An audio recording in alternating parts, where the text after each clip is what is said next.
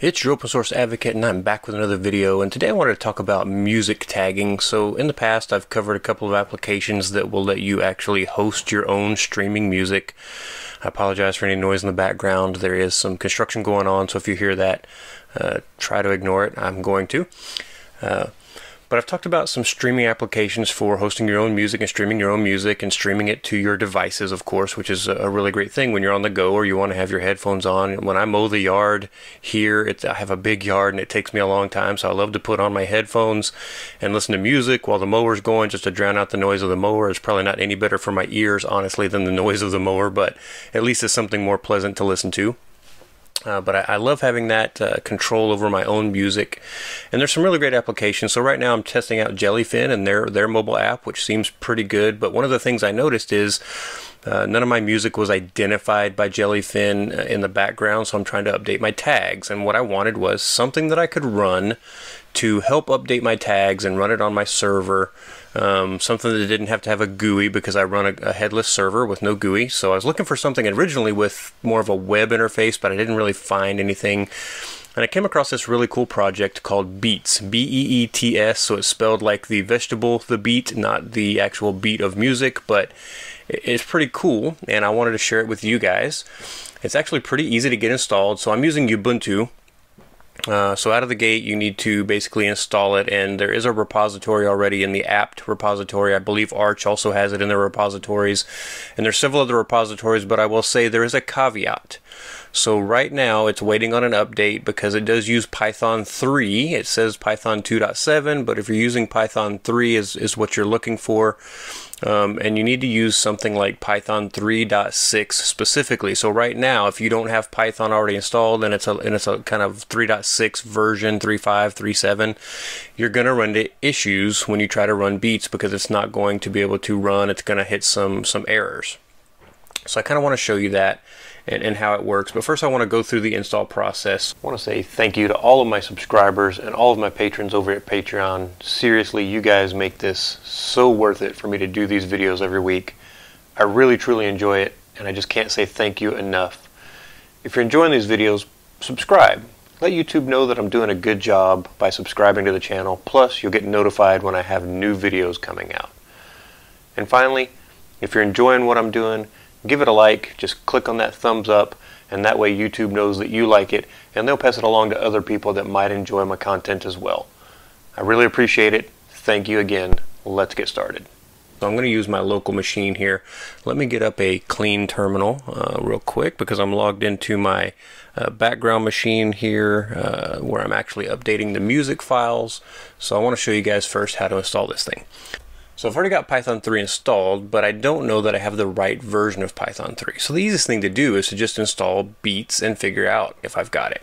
Now one of the ways you can install it is using pip. So this is the Python installer um, for, for plugins or projects or, or, things like that that are built in Python. Um, so you can use pip 3, in this case it would be uh, pip 3 to install this, and then install, and let me make this text a little larger. So you would do pip3 install BET, BEETS. So pip3 install beets.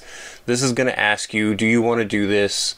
Um, or it may just start the installation. Yeah, there we go. So it's going to install Beets, and it's going to come down and say, "Hey, we've got we've got Beets installed, and here's a few of the things that it installed with it, uh, Jellyfish, and, and a few other a few other items here." Um, and it says that it put it in the wheel group for me. So this is pretty easy. And if you get this kind of result, this may just work for you. Um, so we can just try something simple here, beet, import, and then we need to give it a path to some files that have actual media on them. So if I, th I think if I go to slash home, you can just do tilde slash uh, music. I think we'll see what it does here. So this is the error that I'm talking about. So you get this error that says value error node can't name node can't be used with none constant. So this means that my, my version of Python is a little bit too new for Beets to be able to use it. Okay, no big deal. One of the things you can do if you install it through the pip method is look up here and figure out where did it install Beet. Uh, so you need to find this one right here. And we're going to go and we're going to edit that file. So we're just going to go to, um, let's see where it said, just to make sure, local bin, uh, dot local bin beet. So we'll do nano dot local bin beet. And right here you see where it says in this top line, uh, Python 3. We're going to change this to Python 3.6. We're going to just save, and that's Control O, and then enter, and then Control X to exit. And now if we do that same beet uh, import, it's going to tell us, hey, I don't have this version of Python that you're talking about, so we need to get that version of Python. So that's kind of the next part that we need to do. So to get that version of Python, there's a PPA out there, um, at least for the Ubuntu side. So if you need to do this for Debian for other things, you have to kind of look up the instructions on how to get a different version. You can, of course, just go get it and build it yourself. But in this case, the PPA was really easy for me, so that's kind of the direction I'm going to go. But you need to install this this 3.6 version of Python, and unfortunately, you can't just do sudo apt install Python 3.6 um, unless you install this PPA first. So um, let's just go grab that. So in order to get this, we're just going to go and we're going to use this command that's sudo add apt repository, that's add-apt hyphen repository space ppa colon deadsnakes slash ppa. So we're just going to take that, we're going to hit enter, I'm going to put in my super user password, and it's going to come down and it should say something like this and you'll see where it says press enter to continue or control C to cancel. So if you want to if you want to cancel out of it just hit control C otherwise hit enter and it should grab that uh, repository and add it and then it's going to refresh your apt repositories for you or it should if you have a newer version of uh, Ubuntu running. If not you can do sudo apt update. So if you didn't get that refresh automatically you can do sudo apt update like this and just let it update. It's just going to run through the same thing it just did for me but you may need to run that command just to get it to update. And then you're going to do sudo apt install python 3.6 in this case is what we want. So we're going to hit yes here. We're going to let it go and install Python 3.6. Now the nice thing is Python 3 is still going to be linked to the newer version of Python that we have, which is great. But Python 3.6 we can call out specifically by name, which is what we did in that beet file. So that's one way to fix that problem, and now you can run your beet import uh, process, assuming you have all of the uh, plugins and things that you need from the pip install. To uninstall it, we do pip3 uninstall beets, and then it's going to show us all the things it's going to install. We'll say yes, and now we're going to go back and do the apt install. So we'll do sudo apt install beets, just like that. And we can even put hyphen y if we don't want to be prompted about it. It'll go through, it'll grab all of the same things, and it's going to just scroll down here.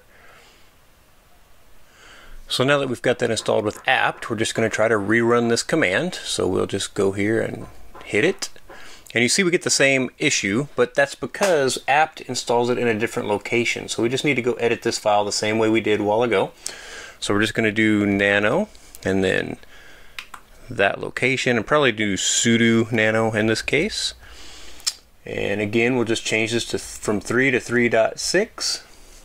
Save it with Control O, exit with Control X, and then we'll rerun our import command here. And now you can see that it wants to do something and it's bringing up my outgoing firewall. I'll just tell it this is fine and it wants to know says so i found six tracks but i couldn't identify them as an album or anything so i'm going to tell it. So you've got these options. You can say skip use them as is which means just leave them alone or try to identify them as tracks try to identify them as group albums try to enter you know search basically um, and then enter ID or abort. So you've got these highlighted letters here that kind of tell you how to select these different things. This all runs through the terminal, which is great because it's running on a server uh, normally where I want to run this. So I'm just going to, this is running locally, but I'm going to show you what's happening on my server in a minute. So I'm going to do T for tracks. I'm going to do a capital T. So it identifies just the two of us and it's saying, okay, I'm not really sure what this thing is. And it says no matching recordings found. And it's, it's saying like Grover Washington is probably what it is, but it's not sure because it's, it's just grabbing the information. It's like, I, I don't know what to do with this thing. So in this case, I can just say skip this one or use as is. Um, this is a cover. That's one of the reasons these are all covers, so it's probably not going to find anything. So again, I can just say use as is. Now this one it actually found, uh, you know, a couple of things here. This item is already in the library. Um, that's fine. Okay, so we'll just say skip. But I'm going to go to my other terminal and show you real quick what's happening. So here, let me let me enlarge the font again for you guys. So here you can see this one I've got Belle Biv DeVoe, uh, Poison is the name of the song. So it kind of gives you these options, one, two, three, four, you know, and it tells you here's here's the percentage match that it feels sure about it. Normally number one is going to be the one you want. You don't have to pick another one. Um, you can also say just use as is if it didn't identify it correctly, but I'm going to say number one.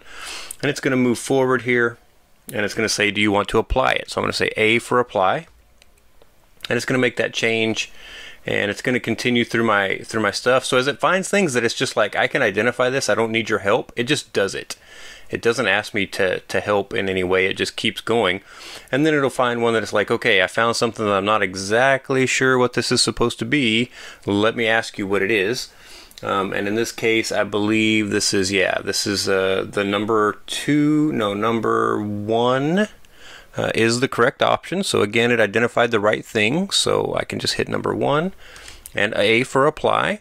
And then it's going to continue and right off the bat it gets the next thing. So number one, and you can just hit enter I believe because number one's the default. Um, and then apply.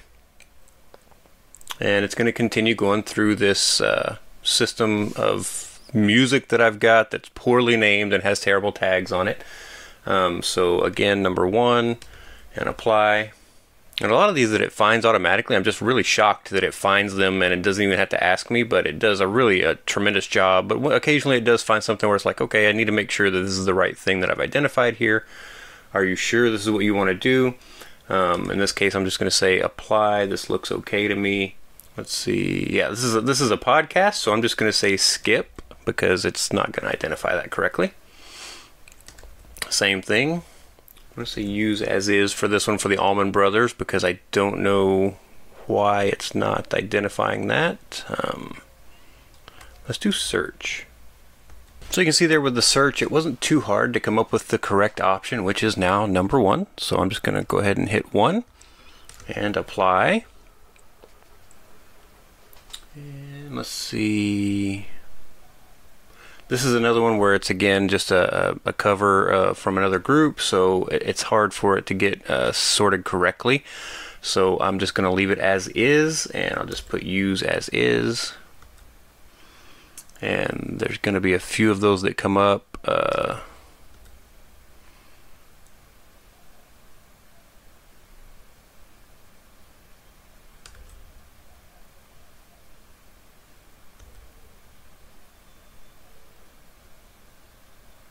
So here's one that again is a valid song, but it doesn't find it just because of the way it's set up in here. So again, if I do uh, enter to search, I can put in Kansas, carry on. There we go, carry on Wayward Son. So it was correct in the first place, but it's Kansas, so there's number one. We hit enter. So you can see, you can do a little bit of searching, you can do a little bit of uh, looking around and find the right uh, things that you want and then it's going to go through and find those things. So we, we should be set uh, and everything should be good. So this is really the, the main part of what I was looking for from Beets, which is great. I love it. It's using MusicBrainz in the back end to go do these searches and things like that, but it's just a nice CLI tool that makes it really easy. I don't have to have a GUI front end. I don't have to have a web front end, and it's pretty simple to go through, and it does a pretty good job of identifying most of the music. Again, it'll depend on what kind of tags you already have. If you have covers of songs, things like that, um, finding those albums may be a little bit more tricky if those aren't bands who put out actual LPs and things, but overall, I think it's a really great tool. I wanted to share it with you guys. If you enjoyed this, like, subscribe, tell your friends about it so they can come along on the journey with us, and I'll talk to you next time. Wanted to tell you real quick about the contest that I'm having coming up. It's going to be a giveaway, and this is the kit that I'll be giving away. It's going to include a Raspberry Pi 4, 2 gigabyte, the the case for the Raspberry Pi 4, a 64 gigabyte SSD pre-installed with Home Assistant, uh, the heat sinks for the Raspberry Pi 4, and the HDMI to micro HDMI cable. A Shelly One button. It will be in the box. So this is just one that I own as well as four Shelly Duo bulbs. So I hope that you'll join up, uh, try to get registered for it. You're going to use the Rocket Chat site that I have on discuss.opensourceisawesome.com, and I'll set up a special channel that you'll just have to become a member of that channel. And then I'll pull your data and I will randomly choose some people here in a few weeks.